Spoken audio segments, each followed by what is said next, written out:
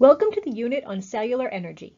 In this unit, we will be discussing how cells are able to harness energy from their environment and convert it into a form that allows them to do the work necessary to support life. There are three main topics in this unit, the laws of thermodynamics and energy conversions, an introduction to metabolism, and the role of enzymes in chemical reactions. In this video, we'll begin with the laws of thermodynamics. Energy is defined as the capacity to do work and all cells require energy to sustain life. There are many sources of energy on this planet, including sunlight, electric, and chemical energy in the food we eat.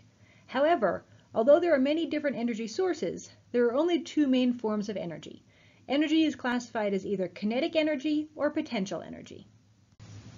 Kinetic energy is the energy of motion, such as this ball rolling down the stairs, or a muscle contracting when you make a fist. Other forms of kinetic energy include light, due to the movement of photons or light waves, electric, due to the movement of electrons, and thermal energy, due to the movement of molecules. The higher the temperature, the faster the molecules in a system move. Potential energy is energy not associated with movement, but rather is stored energy. Potential energy depends on the structure of the object or its position within its surroundings and this energy is released when there is a change in the object's structure or position. For example, when the ball is at the top of the stairs, it has high potential energy because of its position due to gravity. Another example of potential energy is chemical energy stored in covalent bonds, such as those shown in this starch molecule. Energy can be converted from one form to another. As the ball begins to roll down the stairs, the potential energy is converted to the kinetic energy of motion. When the ball reaches the bottom of the stairs, its remaining energy is stored as potential energy. But since some was converted to kinetic energy, the ball now has a low level of potential energy. This conversion from one type of energy to another is described by the first law of thermodynamics. This physics law, also called the law of conservation, because it states that the energy is neither created nor destroyed. It simply changes from one form to another. In this figure, we see four boxes of energy on the left. After the energy transformation, we still have the same amount of energy in four boxes. However, they have been transformed to another shape. Earlier, when the ball was at the top of the stairs, it had a certain value of potential energy. When the ball rolled down the stairs, much of the potential energy was transformed into kinetic energy, but the total amount of energy remained constant. When energy changes form, the total amount of energy remains constant, but the amount of energy still available to do work will decrease. Therefore, there's a price you pay in the loss of energy to do work when transforming energy. This is described by the second law of thermodynamics, which states that the universe is always moving towards an increase in entropy. This is the amount of disorder in a system. The lost energy available to do work is heat energy.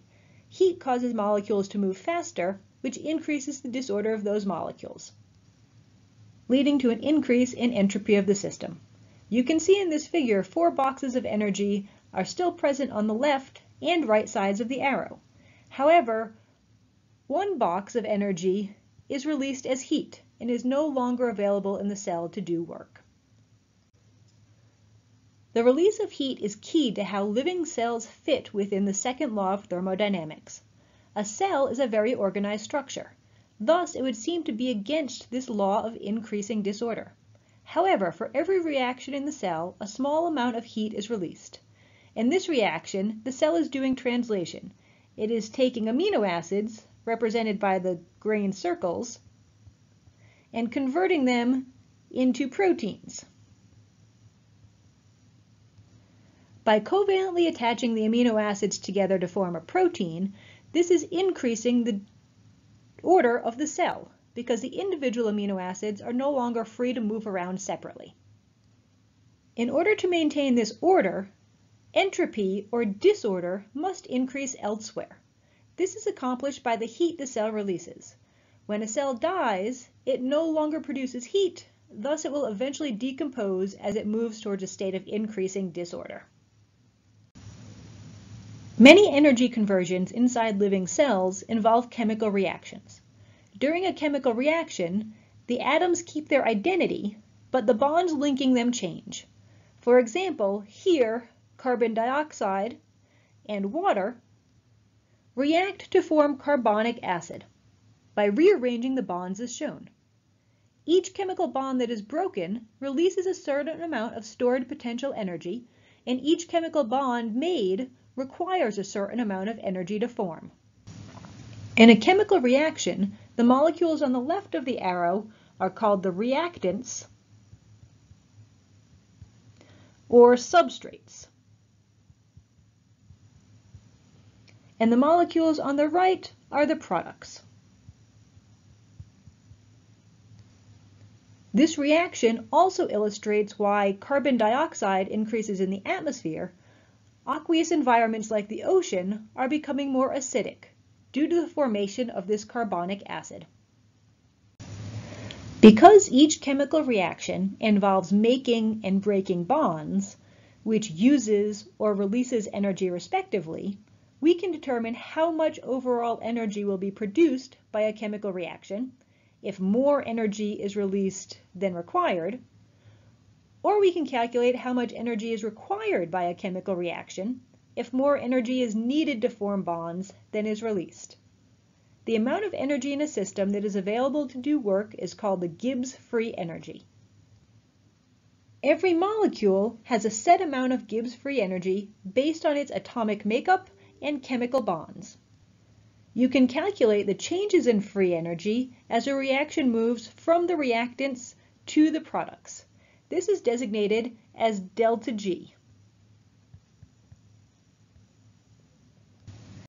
Going back to the chemical reaction of carbon dioxide and water, generating carbonic acid, we can calculate the delta G for this reaction. Carbon dioxide has a free energy value of 94.26 kilocalories per mole. And water has a delta G value of 56.68 kilocalories per mole.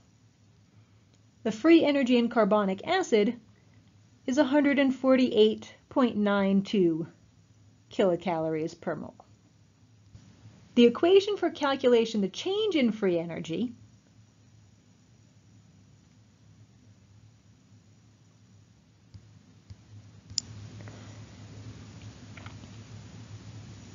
is the delta G of the products minus the delta G of the reactants. So for this chemical equation, be 148.92 minus the sum of the free energies of the reactants